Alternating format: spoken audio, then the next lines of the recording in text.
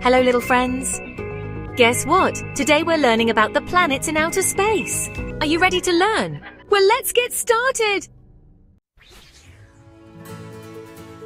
I'm Mercury. I'm the smallest planet and the closest to the sun. Super hot in the day and freezing at night. I'm Venus. My thick clouds trap heat, making me the hottest planet. I'm Earth, the only planet where people and animals live. Hello from home. I'm Mars. I'm called the Red Planet because of my rusty color. I'm Jupiter. I'm the biggest planet with a giant storm called the Great Red Spot.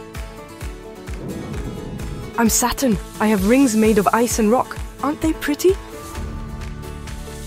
I'm Uranus. I roll around the sun on my side. I'm Neptune. I'm the farthest planet and super windy.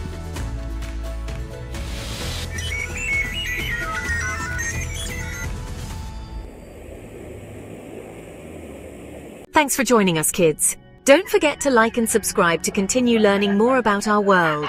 See you next time.